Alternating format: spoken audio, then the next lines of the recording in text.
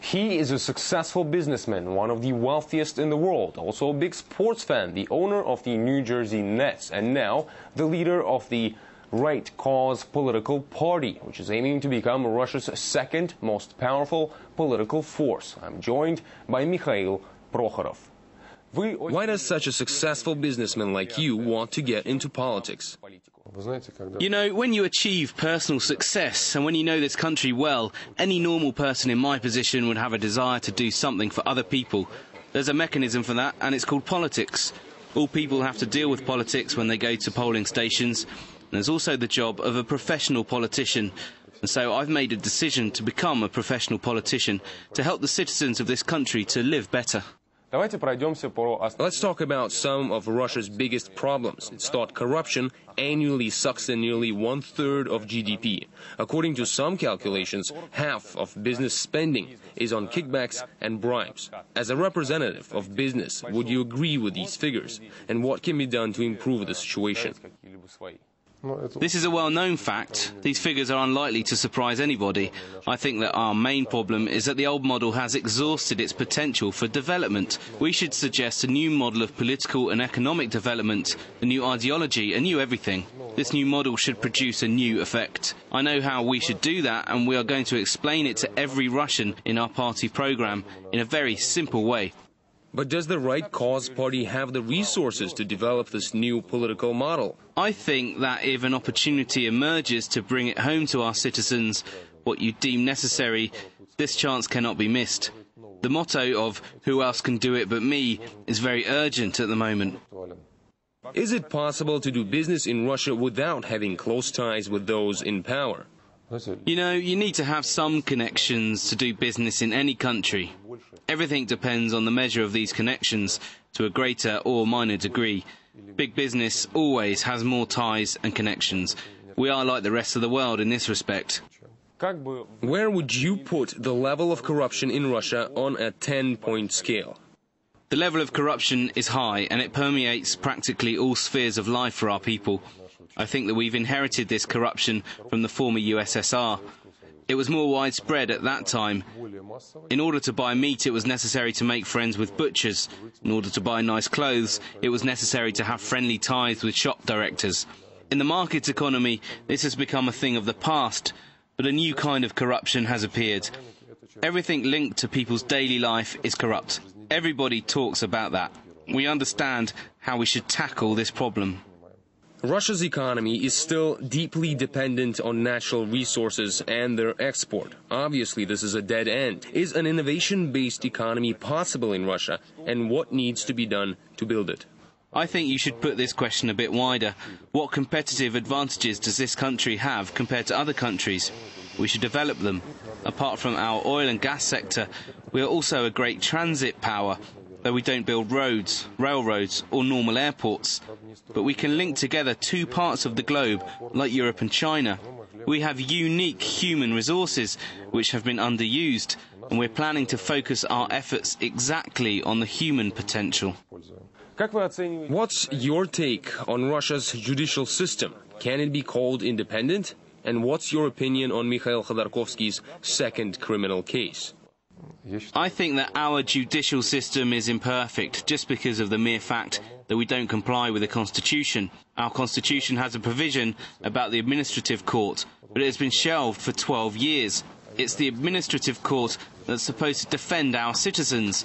If a citizen doesn't like a directive issued by a bureaucrat, he can turn to an administrative court for help. A bureaucrat, in turn, should prove that his directive is in line with the law. Today, a bureaucrat takes no responsibility. This is a problem that needs to be tackled by an administrative court. The second thing is linked to Khodorkovsky. The law is a law irrespective of whether it's good or bad. All of us are obliged to stick to this law. If there are faults in it, it's the task of a political party to suggest amendments. But even this imperfect law implies a procedure called early release on parole. I personally think there are no grounds to deny Khodorkovsky and Lebedev their right to be released early on parole.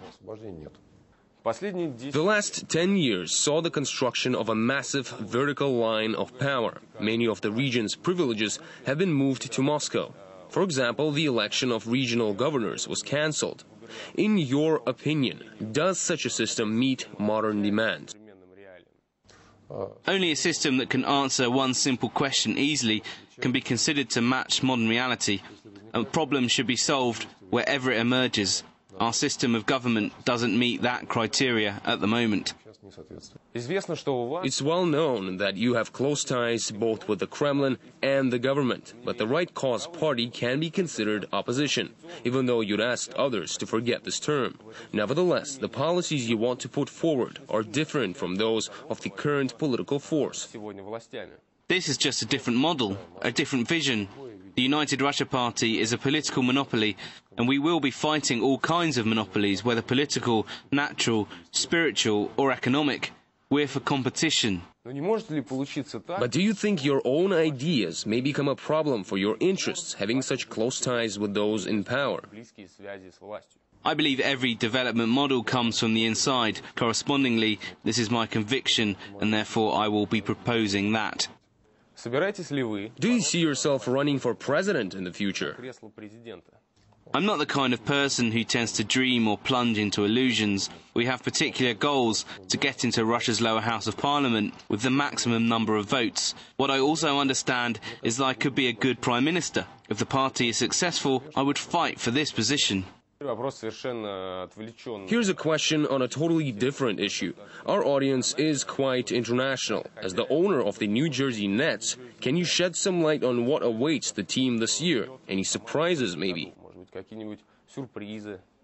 The team will be consolidating. We have a clear plan, and we're not going to give up this plan that I've announced time and time again that within four years we will become champions.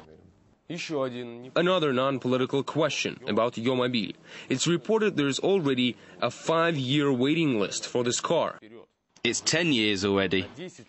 Even 10, so it's a tremendous success, even though the car is not yet being produced and most people haven't seen these cars in real life. Is there also interest from abroad, and how do you evaluate Russia's car market in general? I'm only happy to see such great demand for the new Russian car. Our people want to see something new and Russian, so we must meet their expectations. As for Russia's automotive industry, I think it's now following the traditional way, trying to get modern Western makes into the country. Localization of any Western car broadens the gap by seven or eight years.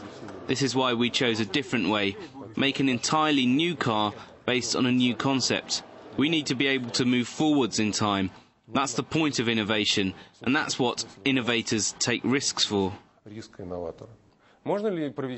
Is it possible to make parallels between the Yomabil and the Right Cause Party? Do you expect the party to be as popular as this car among the people? I wouldn't have gone into politics if I didn't think so. Thank you very much. Thank you.